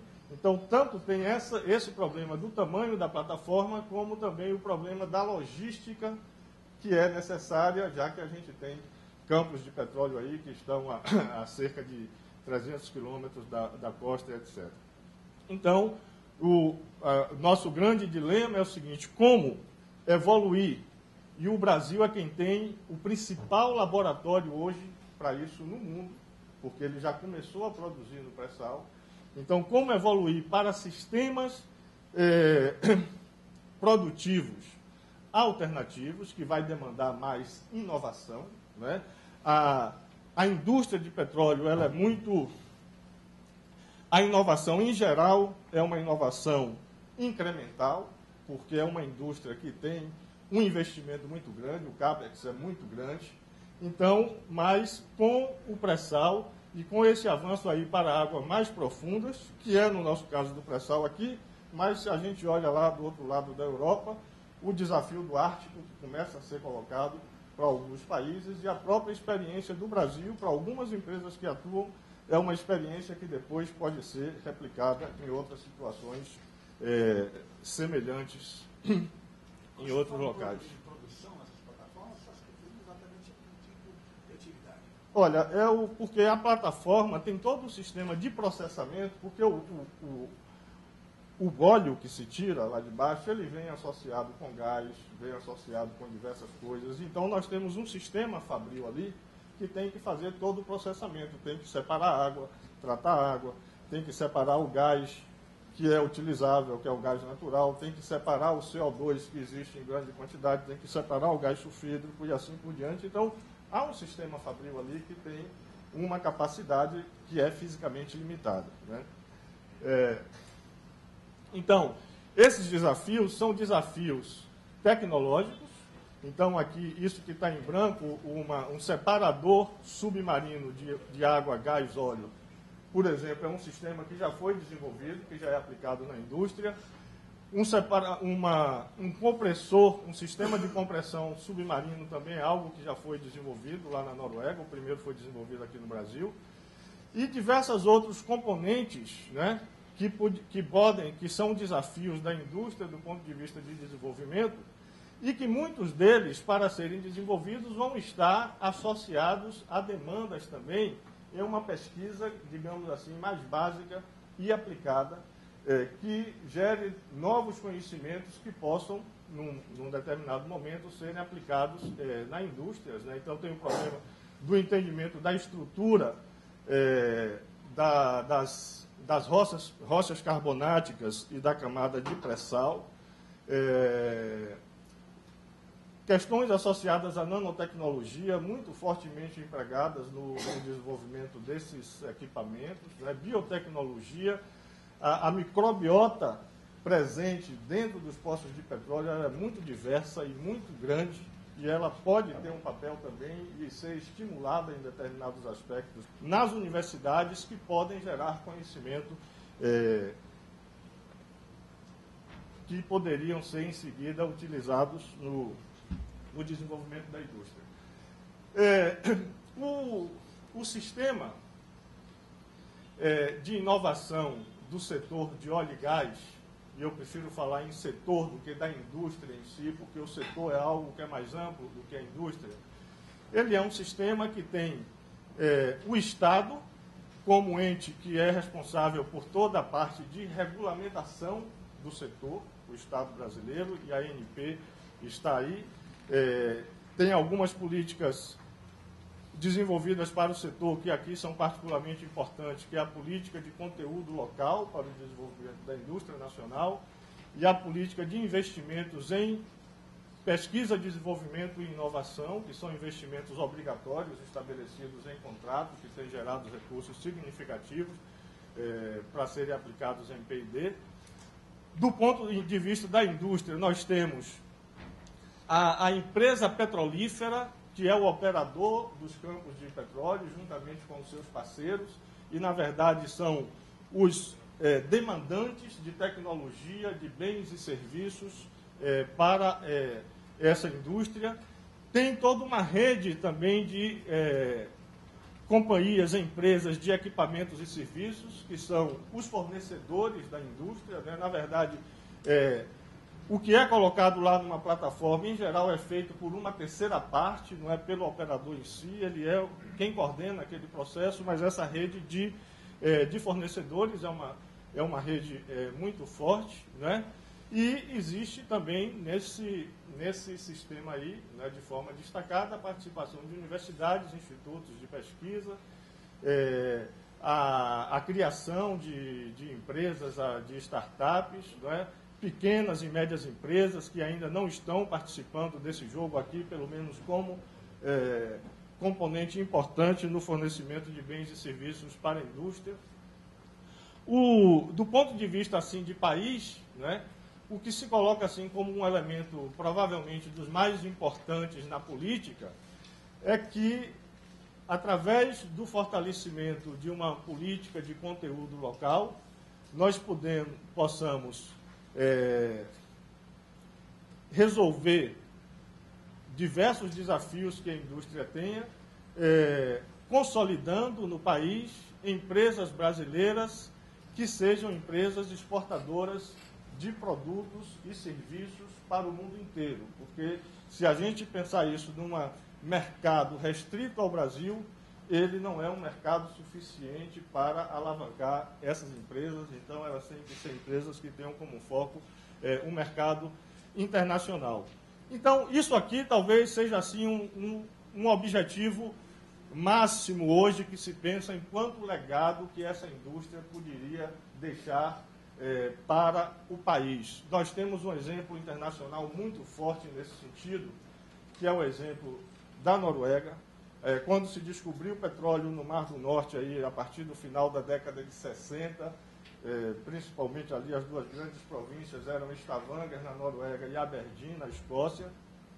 A Noruega tinha uma indústria muito pouco desenvolvida, voltada basicamente para a pesca, e mas ela conseguiu é, inclusive com uma estratégia de extrair óleo mais lentamente do que o que foi feito em Aberdeen, que era uma situação diferente no Reino Unido, com o berço da Revolução Industrial, com uma indústria já muito mais desenvolvida, mas a Noruega ela conseguiu se situar tão bem hoje que ela já tem alguns fornecedores de classe mundial, várias empresas aí, diversos setores da indústria, que desenvolvem tecnologia, exportam tecnologia, exportam bens e serviços e etc. Então, é, o Brasil, uma dos sonhos que se tem é que esse momento, com a força que a indústria tem, ele pudesse também se beneficiar nesse sentido. Né? Claro que isso aí combinado, como foi feito também na própria Noruega e mais ainda na, em Aberdeen, com uma atração de, da indústria internacional, que é uma indústria que tem um papel, nós não vamos reinventar a roda, mas é, é atrair e, ao mesmo tempo, criar as condições para que a indústria nacional ela possa é, se desenvolver nesse processo. Ora, nós, o, isso aqui é mais ou menos como funciona a indústria, né? É, então, para colocar esse equipamento aqui num campo, nós temos o operador, que é a empresa petrolífera, depois nós temos os fornecedores, que integram, inclusive, tecnologias que são fornecidas por terceiros e quartos, colocados lá em níveis diferentes dessa cadeia de fornecimento. E o Brasil, hoje, nós ainda estamos tentando entrar aqui nos níveis mais baixos, porque a nossa empresa é muito pouco desenvolvida.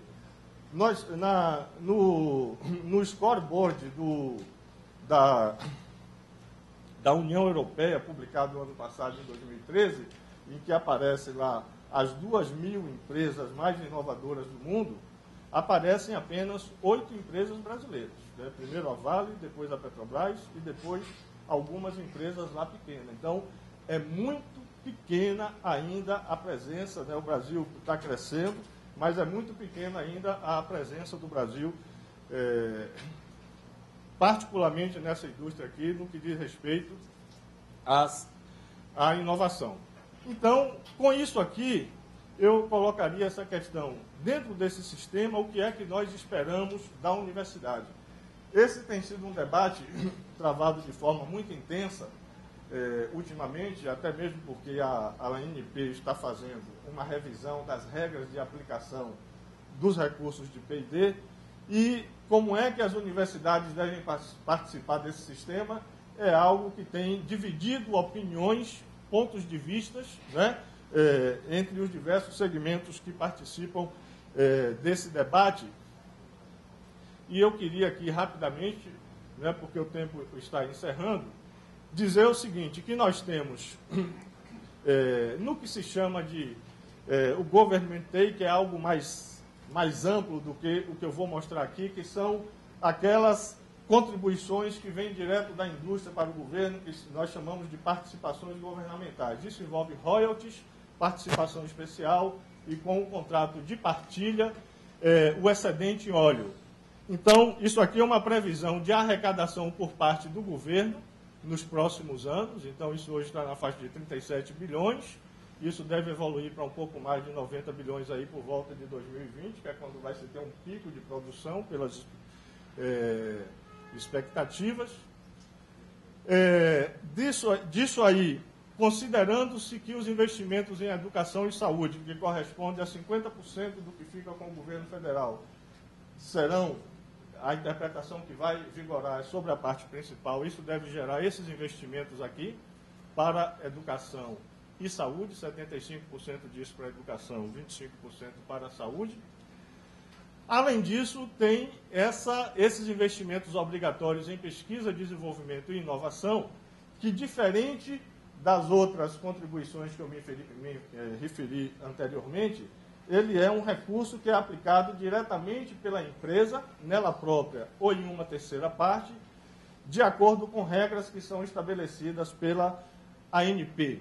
Mas é também uma espécie de participação governamental, porque é uma obrigação é, definida em contrato. Então, isso também vai evoluir. Nós estamos na faixa de 1,4 bi previsto para finalizar agora em 2014. Nós devemos chegar aí a cerca de 4 bilhões de reais por ano é, é, em 2020. Esses recursos aqui, o que está em azul, é o que está previsto para investimentos internos nas empresas petrolíferas ou em parceria com outras empresas fornecedoras, que ela também pode investir para o desenvolvimento tecnológico. E o que está em verde aqui é o que está previsto para investimentos em universidades, porque a cláusula contratual ela diz que pelo menos a metade dos recursos gerados devem ser é, direcionados para universidades ou instituições de pesquisas credenciadas pela ANP. Fruto dos recursos que foram gerados até agora, que são cerca de 10 bilhões desde 98 até 2013, nós temos todo o investimento em infraestrutura e recursos humanos por todo o país, que já atinge 23 estados, são 53 universidades e institutos de pesquisas credenciados, com cerca de 280 laboratórios. Nós temos lá um, um, total de 600 pedidos de credenciamento de laboratórios e grupos de pesquisas para é, receber esses recursos. Estamos analisando. Provavelmente no final aí vamos chegar entre 550 e 600 pedidos aprovados de laboratórios que seriam é, habilitados a receber esses recursos da ANP. Um resultado também é a criação do Parque Tecnológico na UFRJ. Existem outros nichos, outros centros de desenvolvimento de tecnologia importantes também no país, que foram construídos com base nesses recursos, assim de cabeça rapidamente, eu lembro a Unicamp, eu lembro a, a Federal do Rio Grande do Norte, o Senai Cimatec, que alguém se referiu aqui hoje, que são centros, dentre outros, Rio Grande do Sul, também lá é, é, com uma forte competência na área naval e assim por diante. Eu queria aqui, para finalizar, é, falar um pouco dessa questão de, de, prioridades. Alguém aqui, eu acho que o próprio professor Fernando Pérez é, se referiu a essa questão aí de, de, de, investimentos de longo prazo, baixo risco e etc. É, dentro dessa indústria, nós achamos que isso realmente é uma questão importante para considerar. Se eu, eu considero aqui esses quatro quadrantes, é, se eu pensar nesse quadrante aqui em cima, que é um, um quadrante de investimento de longo prazo para é, tecnologias que são de baixo risco, esse é um quadrante aqui que gera uma atenção muito grande. Ele não tem, não apresenta viabilidade porque são a pressão da indústria em grande parte é por tecnologias para ontem, porque ela precisa aumentar o seu sistema de produção e etc e isso não vai ser resolvido com projetos. Então, isso aqui, às vezes, gera, inclusive, uma tensão muito forte entre a indústria e a universidade, a universidade diz que a indústria não tem agilidade para responder às suas demandas, etc. Então, isso aqui é um quadrante que não, não funciona. Esse aqui também não, porque seria é, atender em um prazo curto problemas tecnológicos que são problemas muito complexos e que vão precisar de uma um, um investimento, uma atividade de desenvolvimento tecnológico que é, é de longo prazo. Então, nós temos aqui esse quadrante, que é para baixo risco e atendimento rápido, que é um quadrante liderado principalmente pelas empresas, seja pelos operadores, pelos fornecedores, que tem é, uma agilidade, uma liderança tecnológica com capacidade de dar essas respostas, principalmente participando aqui de forma mais coadjuvante as universidades e pequenas empresas, empresas em fase de criação, e temos lá aquele outro que nós imaginamos que é o quadrante que deveria ser liderado pelas universidades e pelas instituições de pesquisa, através de projetos estruturantes, onde nós buscássemos a médio e longo prazo encontrar soluções, desenvolvimento de conhecimento científico e tecnológico que pudesse, inclusive, mais à frente, ser utilizado pela indústria. Mas ali não é o local onde a indústria investe. A indústria sempre investe no que tem baixo risco porque o investimento dela é grande. eu vi é, recentemente, li um trabalho muito importante de uma pesquisadora lá na Inglaterra, que ela diz é, o, o Vale do Silício é um modelo que todo mundo busca replicar, mas que em grande parte não consegue replicar porque a história dele foi muito mal contada. O Vale do Silício, é, a história do Vale do Silício é que é o vale do, do capital de risco, é, da, do, dos gênios empresariais, mas o que está na base dele é o, é o conhecimento que foi gerado em universidades com financiamento público. Então, essa é uma questão que a gente precisa, inclusive nesse sistema aqui, eu digo isso porque o debate é muito forte, tem gente querendo tirar esse dinheiro da universidade com o argumento de que a universidade não, já se investiu em infraestrutura e ela agora não tem projetos. É porque o que, a expectativa que se cria da universidade, na ótica do setor privado, é uma expectativa que ela não vai cumprir, que é de resolver a sua demanda tecnológica para ontem. A universidade, a expectativa que tem que ser criada é de que ela resolva demandas tecnológicas, científicas etc., a mais médio e longo prazo. Então, esse é o nosso pensamento e, portanto, nós precisaríamos pensar em um sistema desse tipo não é que, na nossa opinião, vai ter como solução uma espécie de dualidade que nós estamos representando aqui com o Jano, ou né, que é o, o deus romano lá, que olha para os dois lados. Então, a gente precisaria fazer isso, um pouco isso, para que a gente tivesse um sistema que funcionasse bem, sem tensionamento, e que todos pudessem dar a sua contribuição para o desenvolvimento tecnológico no país.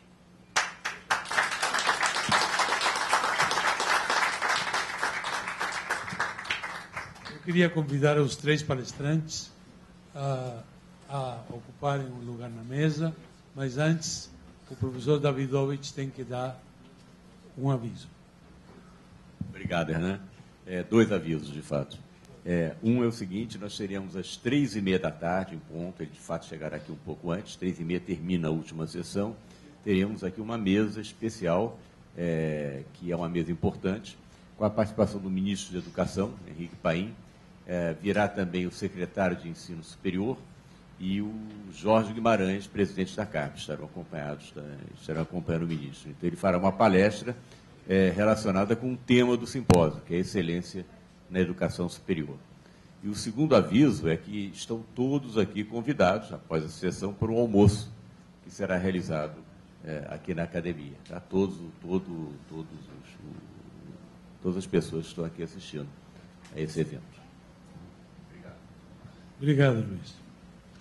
Queria convidar os três palestrantes a ocupar um lugar aqui em cima e eu pediria que alguém me ajudasse a tomar nota dos, das perguntas. Dois, eu pediria que alguém me ajudasse a tomar nota das perguntas. Bom, ladies first. Gracias. Eh, va a ser en español y pido disculpas, pero no hablo portugués. Eh, Cualquier problema yo puedo traducir. Es, es, interesante que desde la academia siempre enfrentamos, o mayoritariamente enfrentamos la relación con la innovación y la investigación aplicada desde el punto de vista de los recursos. eh, de los impuestos o de la inversión de la empresa. Y yo creo que eso es muy cierto. O sea, yo creo que como, como región, no solamente como pa- país Brasil, pero Chile y muchos otros países, adolecemos de una baja inversión en investigación de innovación aplicada, incluso investigación básica en las instituciones. Pero a mí me gustaría concentrar la atención de cómo nos ve la industria a la academia en nuestra capacidad de resolver aquellos problemas que tienen, ya sea por la temporalidad de nuestra respuesta, ya sea porque más allá de nuestra capacidad de generar conocimiento, que es muy importante, también se requiere un cuidado especial con los procesos, cómo lo hacemos, eh, cuál es la trazabilidad de los experimentos que lo hacemos y, y muchas veces en la academia no estamos necesariamente preparados para hacer investigación que va a terminar siendo utilizada con fin comercial, que va a generar un producto que va a ser. Esa es una parte. Y la siguiente es una reflexión que, que termina una pregunta que tiene que ver con la investigación con la que yo soy más familiar, que es con la investigación biomédica. En el fondo, investigación que va a resultar en productos de uso humano. Sí, previs. Eh, y eso tiene que ver eh, con, con algunos elementos que se discutieron. Una cosa, nuevamente, es generar conocimiento, que puede ser genial, pero lo otro es que tengamos la posibilidad de realizar la investigación preclínica. Y esa capacidad no la tenemos en la región y es de enorme costo. Es muy, muy caro hacer investigación preclínica como la exige la certificación de la FDA americana o en Europa. Entonces, mi consulta es, ¿ven posible que podamos realizar una actividad de consorcio regional para establecer capacidades de investigación preclínica? Porque es imposible que una universidad pueda financiarla y yo creo que es muy difícil que un solo país de la región sea capaz de invertir lo que significa en una institución que pueda hacer investigación preclínica. Eu, agradecendo a pergunta, solicito a todos os perguntantes que ah, diminuam o tempo, na medida em que ou a gente diminui o tempo da pergunta, ou o almoço vai ser muito corrido. Ah, Bruce? Perhaps I should wait. I actually have a comment rather than a question, so perhaps I should wait and let others ask questions first. Uh, it's your choice, but if, if it's a comment, it will be a very short comment. I'll- We'll move on. Ok. Ah, eh, espera, espera,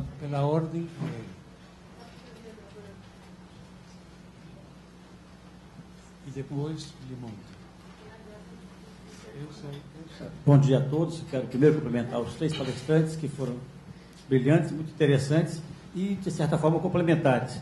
Não posso deixar de fazer uma citação, ele está pedindo para o representante da NP depois confirmar, complementar, esclarecer que o professor Glauco, na palestra anterior, tinha uma dúvida sobre o que seria feito com o dinheiro do pré-sal.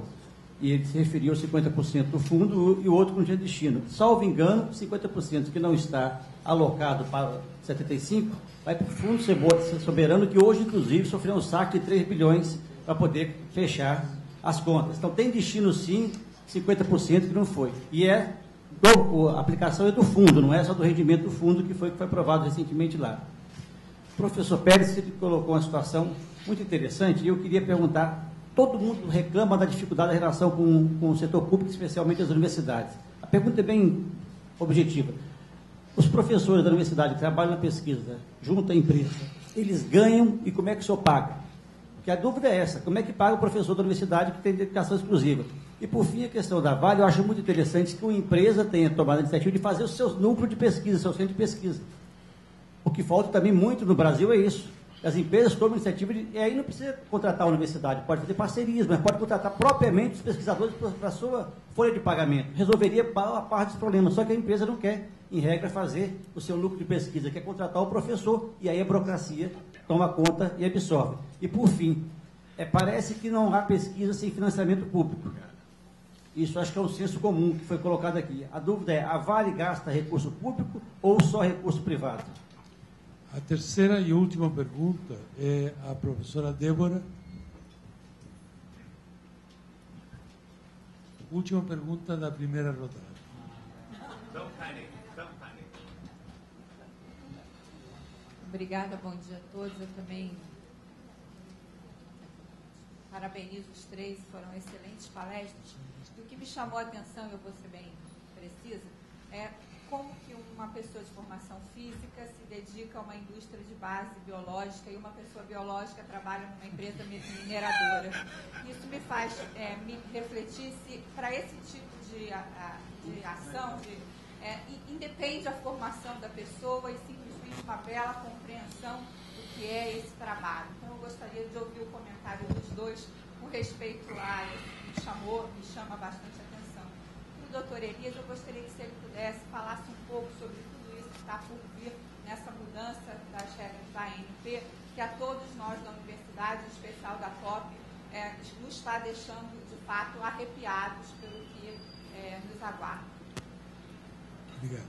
Eu vou ter que pedir para os palestrantes também moderar o tempo das respostas, sem deixar de responder nenhum.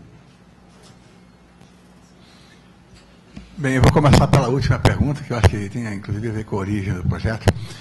Veja, eu, eu entrei nesse projeto porque em 2004, quando eu ainda era diretor científico da FAPESP, eu fiz uma visita de cortesia ao Instituto Ludwig e e descobri que eles estavam mudando o modelo operacional deles, estavam querendo concentrar mais na pesquisa, em Nova York essa visita, estavam querendo hum, se concentrar mais na pesquisa acadêmica e, e gerar empresas que fizessem, spin-offs que fizessem a ponte entre a pesquisa acadêmica e a indústria farmacêutica. E eu comentei que eu acharia fantástico que tivesse uma empresa dessas no Brasil. E a resposta deles foi, pois é, nós acreditamos no Brasil, e de fato eles investiram bastante aqui no Brasil, no, no projeto de Genoma do Câncer, eles colocaram mais de 10 milhões de dólares a fundo perdido junto com a FAPESP, e, mas nós estamos procurando alguém para fazer, para eh, liderar esse projeto. Você topa? Eu falei, eu não sou nem médico nem biólogo, eu tenho um filho médico e um outro biólogo, mas isso não costuma ter nenhum efeito significativo.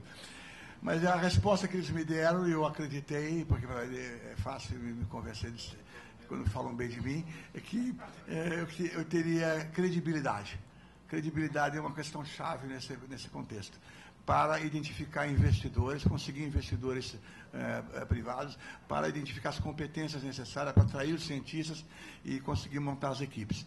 E, de fato, essa questão da credibilidade foi central. Quando o meu primeiro investidor decidiu investir na empresa, foi o Dr. Emílio Odebrecht, ele falou assim, professor, eu vou estar com o senhor por quatro razões nessa ordem.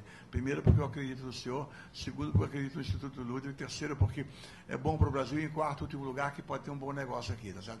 Então, na verdade, isso talvez explique como é que eu fui parar nessa coisa. Realmente. É, mas veja bem, quando você vê que o CEO, o, o penúltimo CEO da Pfizer era o diretor, do, era o CEO do McDonald's, talvez isso possa ajudar a entender um pouco melhor a coisa. Uh, uh, vou responder tudo que eu tiver que responder, assim já abrevio a coisa. Uh, a questão de relação com a universidade, eu acho a questão central. Como é que você estimula o pesquisador a fazer isso? O pesquisador antes, ele quer, ele gosta sim de complementações salariais, mas ele gosta mais de uma coisa, uma coisa mais importante que ele, é você oferecer apoio de infraestrutura. Por exemplo, nós colocamos o nosso pessoal técnico para trabalhar junto com o pesquisador, nós conseguimos apoio para o laboratório. Então, na realidade, alguns, alguns casos têm complementação salarial, outros casos a instituição não aceita a complementação salarial, nós fazemos tudo isso de maneira muito transparente, tá certo? Porque nós não queremos ter nenhum. nenhum, nenhum mas realmente é, um, é uma é um, varia de instituição para instituição, mas o ponto central é você garantir condições de trabalho, colocar pessoal técnico, que é uma das carências da universidade, de contrato e pôr o nosso pessoal para trabalhar com, com, o pesquisador. Colocar o nosso pessoal também tem uma qualidade importante da parceria, porque um bom pesquisador, como você bem sabe, ele tem mil e uma obrigações. Ele participa de congregações, ele participa de coisas, vem de conferências desse tipo, ele viaja pelo mundo inteiro, tá certo? E se você tiver sorte, ele vai dedicar um milésimo da sua seu coração e alma ao seu projeto. Né? Ele tem muitos projetos e muitos alunos assim por Então, na realidade, a nosso ovo de Colombo foi colocar a nossa equipe trabalhando junto com esse pesquisador sob a liderança dele, interagindo com o nosso grupo. Isso é uma questão importante. Ah, finalmente, a questão dos ensaios pré-clínicos, veja bem, eu acho que é um desafio. Nós estamos tendo uma atitude muito pragmática aqui, mandando fazer no exterior né, para que você tenha os, os certificados certo, das agências internacionais e nacionais.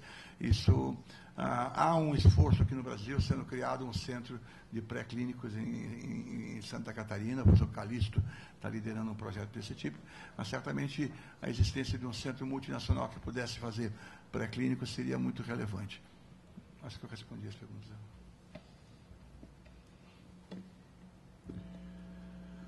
Bom, eu alguns comentários é, sobre é, questões que eu poderia responder. Essa parte de pré-clínico eu não, não me sinto, não tenho acompanhado esse assunto. É, mas sobre o papel das empresas e das universidades. Eu não, não, não creio assim que a gente já tenha as universidades ótimas e muito menos as empresas ótimas quando o assunto é tecnologia. Temos nenhum nem outro ainda numa situação é, que a gente pudesse dizer, tanto que o tema aqui é o seguinte, vamos perseguir a, a, a educação de superior, de excelência, né? esse é um objetivo, isso é muito importante para o país. Agora, eu acho que os papéis da universidade e da indústria, eles são papéis complementares, mas diferentes. Né? A, a indústria, ela é uma indústria, a, a inovação, quem leva um produto para o mercado é a indústria são as empresas privadas. Isso não vai ser feito pelas universidades. Mas as universidades, elas produzem o conhecimento básico, né? E, historicamente, tem um ponto aí de busca de uma interseção maior entre essas duas coisas, que foi na instituição do Bayh-Dole Act nos Estados Unidos, né, que permitiu às universidades patentearem, mesmo recebendo recursos públicos, porque o patenteamento tornaria aquela tecnologia com um valor maior para que ela pudesse ser é, apropriada a título de exclusividade por uma indústria. Porque se ela pega esse conhecimento e simplesmente disponibiliza para toda a sociedade, ela perde este valor de competitividade. Né? Então, isso aí é um ponto de ligação que se buscou entre as duas coisas. Mas quando a gente pega, mesmo a história, né, o Melo falou muito aqui na, na referência dos Estados Unidos, levantou questões importantes nesse sentido. Quando a gente pega a história, em especial nos Estados Unidos, do investimento em PD, é, o investimento de longo prazo e de alto risco, eu gostaria de enfatizar, é um investimento que geralmente é feito por intermédio do poder público e por via das universidades. O setor privado, ele só investe quando aquela tecnologia ela mostra que tem uma viabilidade de mercado, quando o risco já baixou. Então, isso é uma questão muito importante que os nossos sistemas, eles não podem deixar de considerar. Porque eu acho, mesmo os Estados Unidos, os Estados Unidos inventaram o que nós descobrimos recentemente, que é a subvenção econômica, que é a possibilidade de aporte de recursos públicos diretamente para a empresa. Mas esse é, é, um, é um investimento que, até onde eu conheço, é feito principalmente em empresas que vão criar novos mercados, em startups criadas a partir das universidades. É principalmente aí que se dá o recurso público para a empresa. Quando nós descobrimos a subvenção econômica, apareceu entre nós algumas ideias de pegar o recurso público e dar para grandes empresas. Isso não é, não é, não, por aí nós não vamos conseguir chegar a um lugar em que o Brasil tem um papel importante. Para grandes empresas, empresas com a musculatura já desenvolvida, claro, você pode ter um sistema que tem incentivos, etc., mas dar dinheiro a custo zero para elas, isso não existe em lugar nenhum do mundo. E nós não podemos fazer isso com o recurso público aqui no Brasil. Isso seria incorreto, na minha opinião. Então, nós temos que entender bem qual é que é o papel de cada um. O, o, o pessoal fala, isso aqui é, uma, é um equipamento que tem 12 tecnologias. As 12 tecnologias básicas foram criadas em universidade. A genialidade da Apple foi pegar essas tecnologias e integralizar com uma engenharia complexa de excelência. Ela sabe descobrir onde é que se fez coisa boa, em geral nas universidades, e pegou isso aqui e vai integralizar e lançar esse produto. Então, eu acho que essa é, é, é, é a minha visão sobre a questão. E Outra pergunta aqui, duas só para responder mais, mais claramente, mais rapidamente. Uma é, o que é que atrai o setor privado?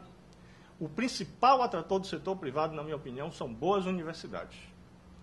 Não se faz atração de setor privado simplesmente pegando dinheiro e colocando na mão dele para fazer pesquisa, porque isso ele já faz quando ele acha necessário por uma estratégia própria de competitividade. Então, aonde é que nasceu o, o, o Vale do Silício? Perto da Universidade de Stanford. Você, todos os grandes clusters industriais, como é que está aqui esse, esse, o, o Vale da, do Petróleo aqui na, no fundão na UFRJ? Está ali dentro da UFRJ com ajuda também do SEMPES, que também ajudou a atrair aquelas indústrias ali. Mas tem que ter uma geração básica de conhecimento, porque o dinheiro que nós temos para dar para a grande empresa é muito pouco. Ele vai receber aqui hoje e ele vai investir em outro lugar amanhã. Então, essa estratégia eu creio que não seria uma estratégia boa. E no caso das mudanças das regras de PD, a gente não está mudando regra porque a gente gosta de fazer regra. A gente está mudando porque acha que as que existem aí elas estão já defasadas, superadas, e a gente precisa melhorar justamente para que a gente tenha um sistema que funcione melhor e que contemple as universidades e as empresas. A resposta sobre o investimento de P&D da Vale, se ele é público ou privado, já foi dada. Ele é, sobretudo, um investimento privado da própria empresa. É, assim que eu entrei na Vale, o Pérez, num dado momento, tinha me convidado para trabalhar na FAPESP, então eu conhecia bem a agência. A gente fez um edital conjunto com a FAPESP, a FAPEMIG e a FAPESPA, Estado do Pará. É o maior edital que já foi feito com agências desse tipo daí, são três agências. A Vale fez uma relação com a FAPESP de um para um, num volume de 40 milhões de reais, 20 milhões Vale, 20 FAPESP. Mesma coisa a FAPEMIG e a FAPESPA. A FAPESPA o orçamento anual dela naquele ano era 8 milhões de reais.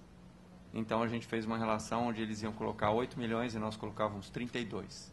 Então o total era 72 milhões nós e 48 milhões as FAPs. Fizemos uma chamada, São Paulo a demanda foi pequena, porque São Paulo já é muito abastecido pela FAPESP, Minas teve uma demanda boa, Pará teve uma demanda estrondosa. Aí existe uma lei que chama Lei do Bem e que permite que na hora que tem uma relação entre a academia e a empresa, a empresa possa se apropriar de recursos que ela pagaria de outra forma com o imposto.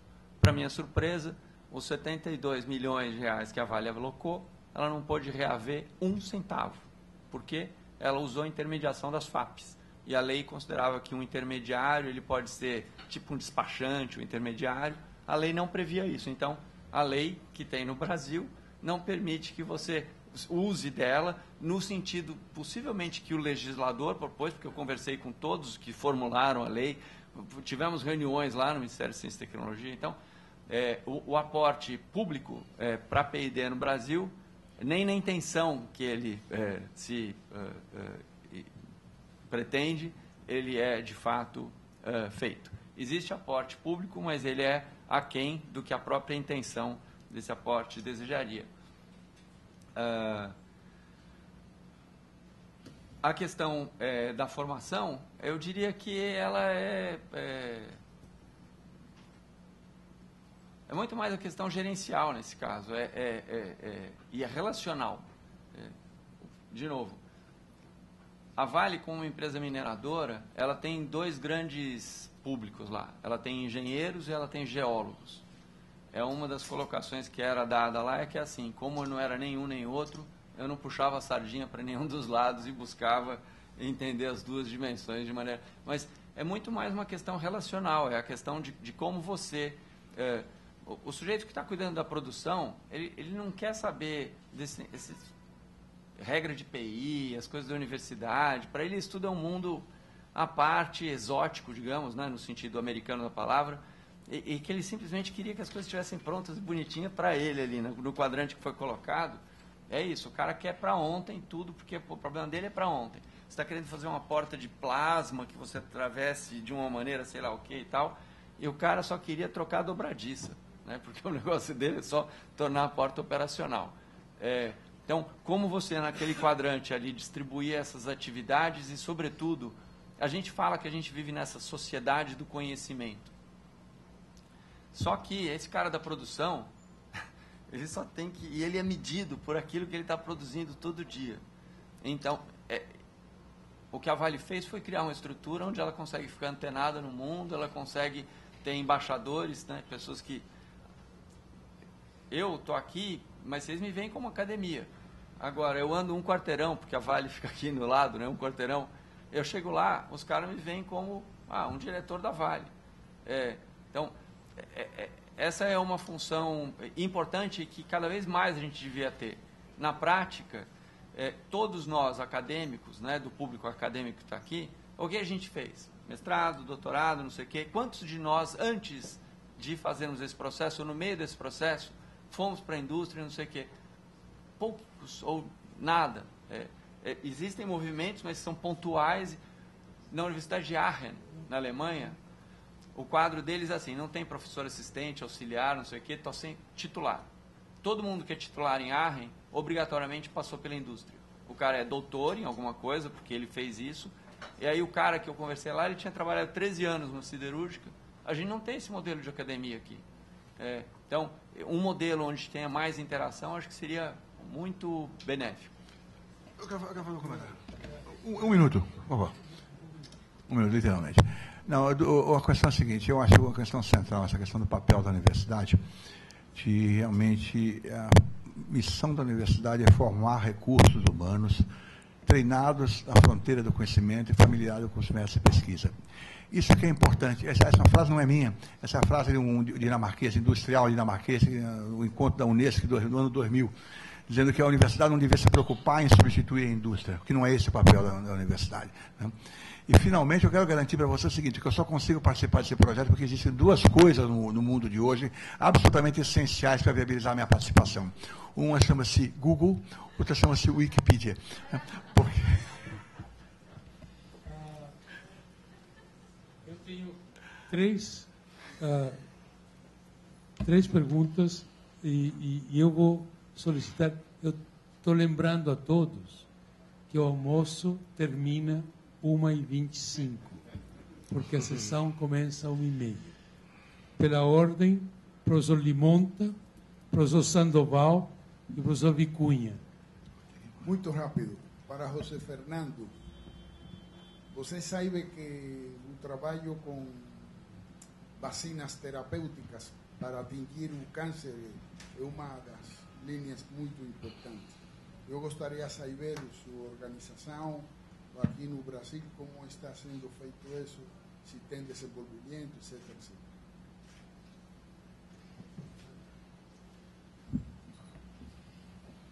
Minha pergunta é rápida, doutor Elias, mas eu tenho que fazer um comentário, porque na sua apresentação eu não vi quase nenhuma ou nenhuma referência sobre a contribuição das universidades brasileiras para criar a tecnologia, a capacitação da Petrobras na exploração de águas profundas. COP, Unicamp, PUC, Rio, tantas outras pesquisas. São milhares, só a COP foram mais de 3 mil projetos de P&D que foram desenvolvidos nessa, né, nesse contato com o, como a gente chamava o petróleo. Né?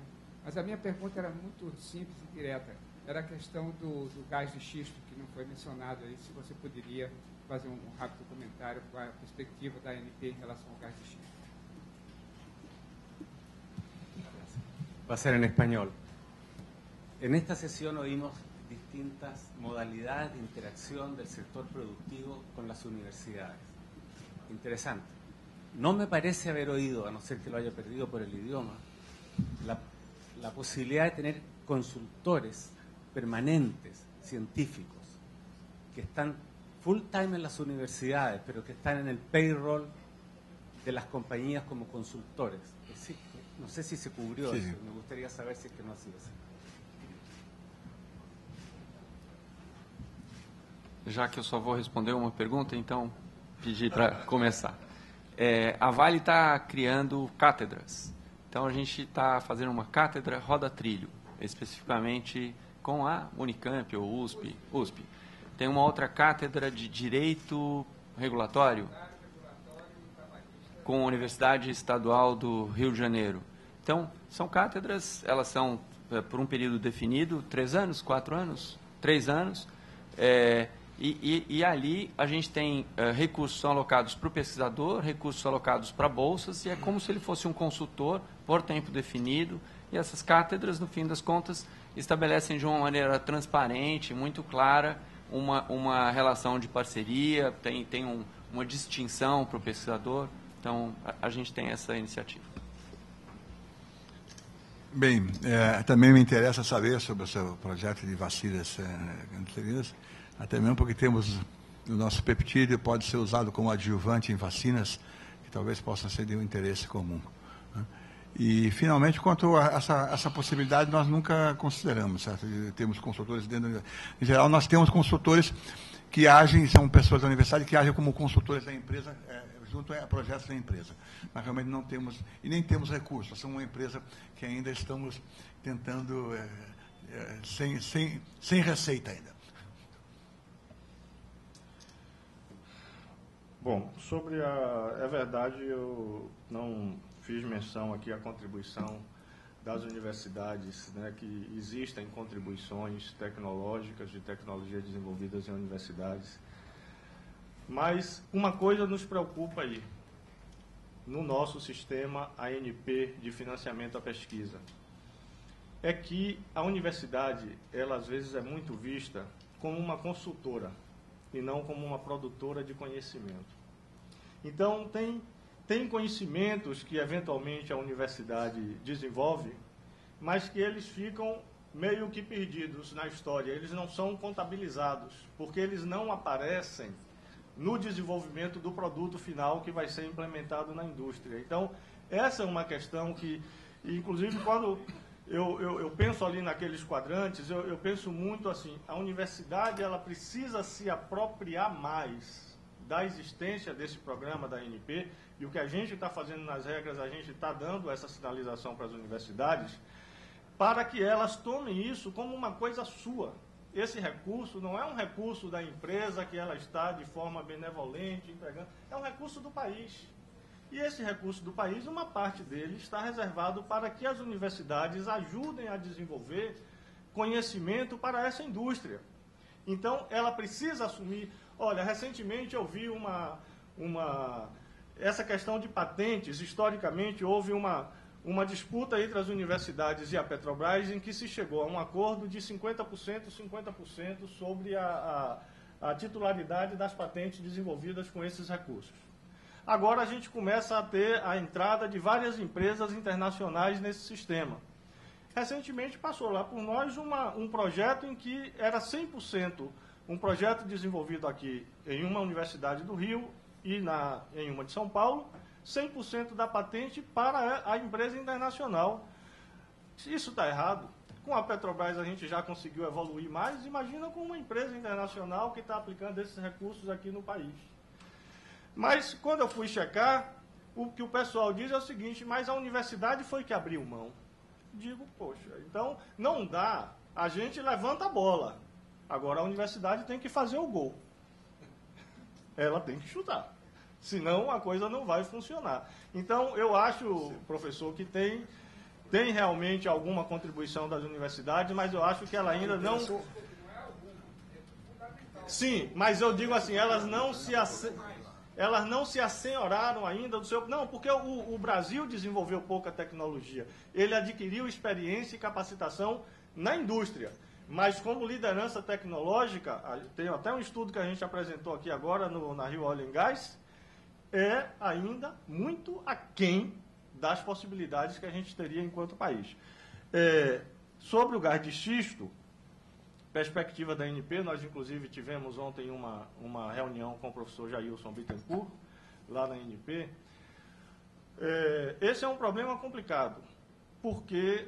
Por que um problema complicado? Porque esse problema foi introduzido aqui no Brasil é, de uma forma muito, com muita incompreensão. Muita gente, e eu digo do próprio governo, achando que o gás de xisto é uma coisa que está na ordem do dia para o Brasil. Isso não é verdade. Eu não sou dessa indústria, mas eu converso bastante com o pessoal da indústria. Minha formação é em física, eu, até quando a professora falou do físico e do biólogo, eu fiquei achando que era comigo, porque eu sou físico, mas eu também sou um pouco biólogo, porque eu fiz biofísica aqui na, no, no Chagas Filho, né, no fundão. Então, acho que é, o problema do gás de xisto não é um problema de hoje para o Brasil. Os Estados Unidos hoje eles fazem gás de xisto porque eles já furaram 800 mil poços. A gente só furou até hoje 30 mil poços. Nós não conhecemos a geologia brasileira o suficiente para entrar hoje nessa questão. Pode ser que daqui a, a 10, 20 anos isso comece a se tornar uma realidade no Brasil? Pode até ser. Mas antes disso, muita água vai ter que rolar por debaixo da ponte.